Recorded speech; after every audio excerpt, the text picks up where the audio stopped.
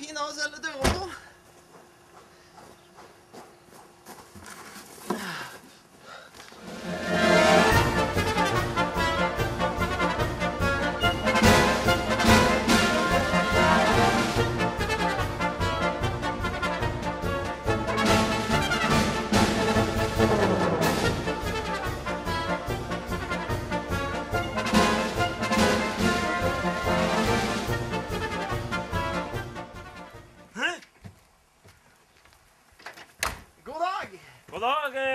hjelpe dem med?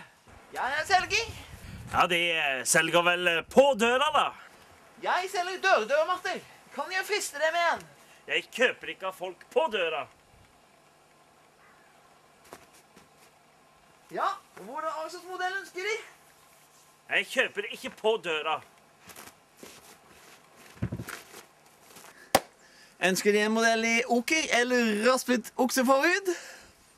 Nei, nå får jeg pinadø sende på dør. Dette går hengselet! Åh, det er så vondt! Livet er dør! Ikke kom på døra en gang til.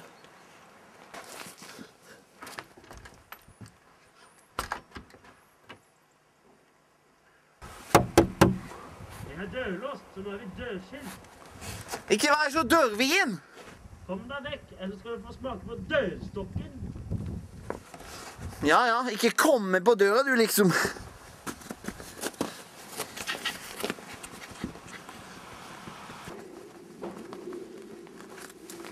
Sånn.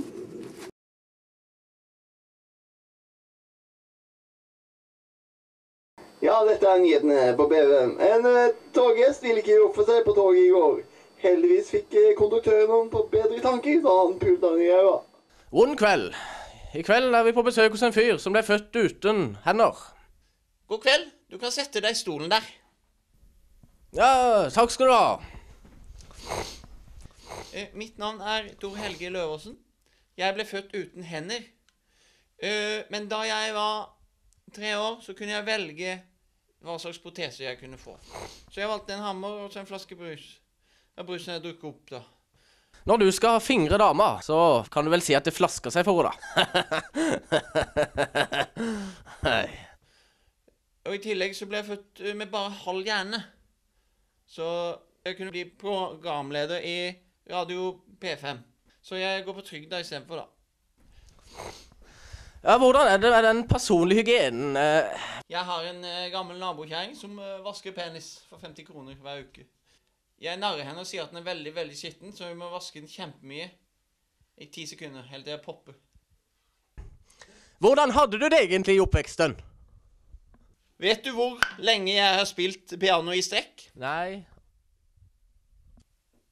Jeg har spilt piano i strekk i to måneder. Det tror jeg er løgn.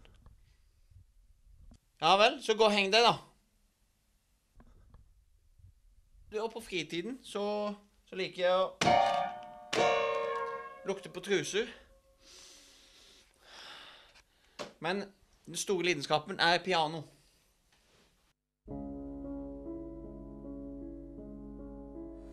Selv den minste ting, sånn som å brenne opp bilder av seg selv, er vanskelig uten hender.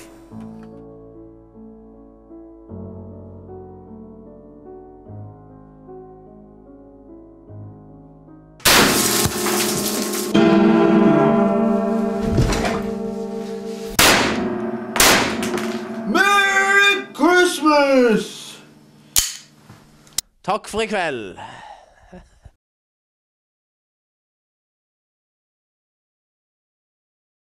God dag. I dag besøker vi en som lider av en litt spesiell galskap. Ja, øh, jeg er spillegal.